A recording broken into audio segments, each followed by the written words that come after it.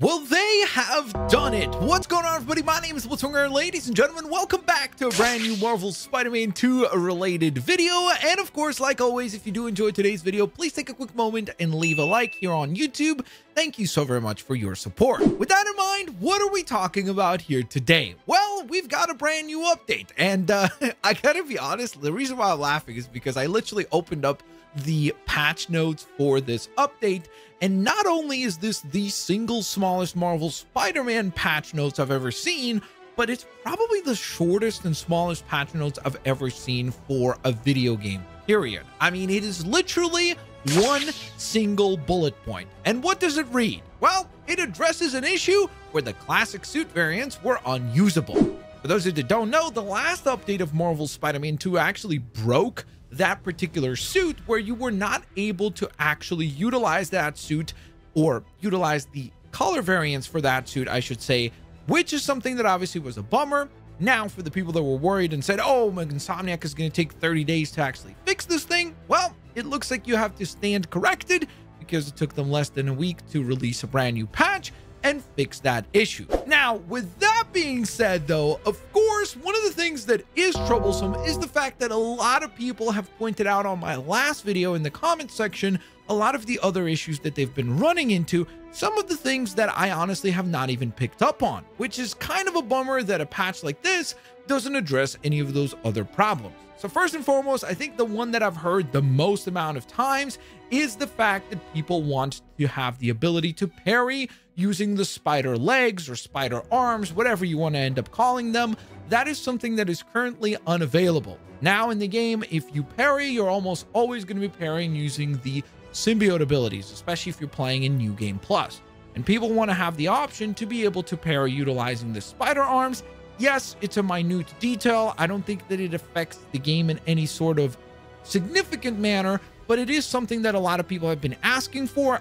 But I do have some good news because allegedly this person who commented on my last video did go on ahead and point out that Insomniac has said that they would look into fixing this and allowing this to be an option. Unfortunately, with this patch, they did not actually include that option, which is kind of a bummer.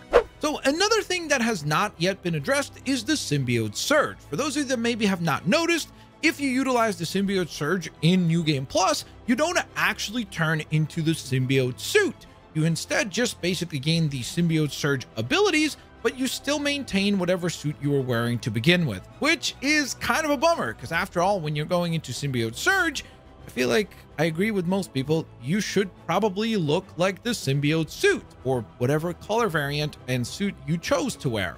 So it is kind of unfortunate that as of right now, that is also something that has not been addressed. And if you're a symbiote fan, I'm sorry, but unfortunately, there's even more bad news because that latest update, the one that broke the classic Spider-Man suit, apparently also introduced another bug into the game where when you're playing New Game Plus, you no longer have the ability to actually utilize symbiote suit takedown, which are meant to be kind of more powerful and I guess dominant to a certain extent, I guess more violent versions of the takedowns.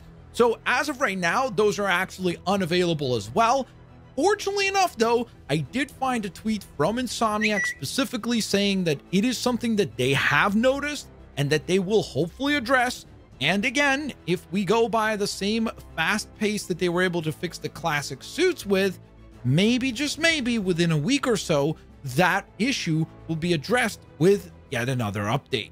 I also did not want to ignore the people that pointed out to me and said that they've run into a lot of issues with the Iron Spider suit, where essentially they have said that the lenses on the Iron Spider suit either go way out of the actual head sculpt of Peter Parker or in addition to that, they just have the issue of them being stuck always in kind of like a full retracted mode.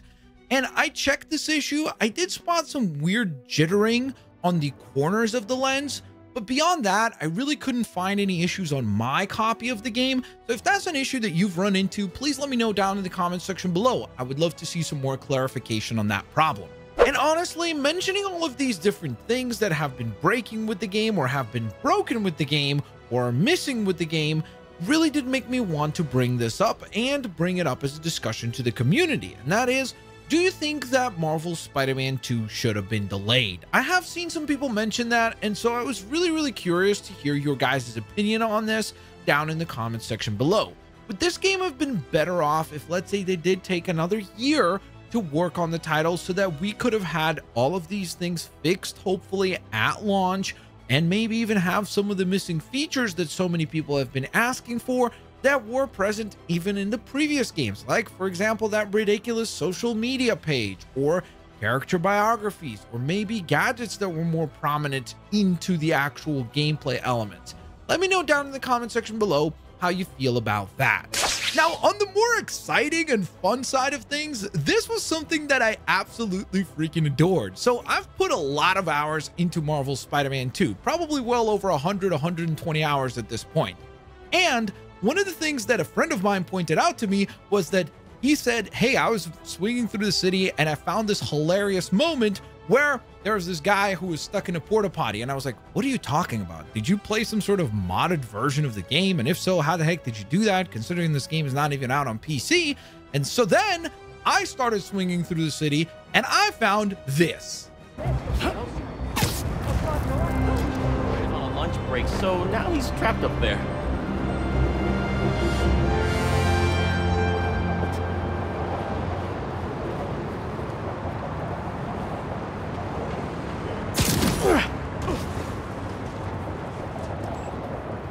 Thanks, Spider-Man. he definitely owes you one. I'll be out soon. Just need a minute.